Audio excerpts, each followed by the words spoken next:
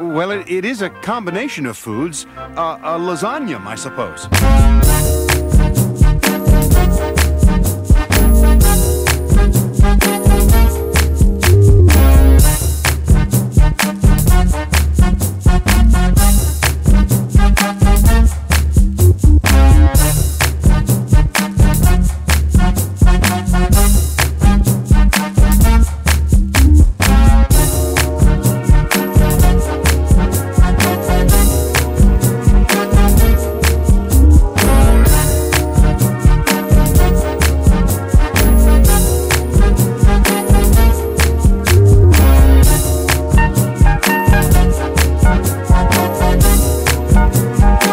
Lasagna is Latin for a stew pot of mixed foods. Today we simply call it lasagna.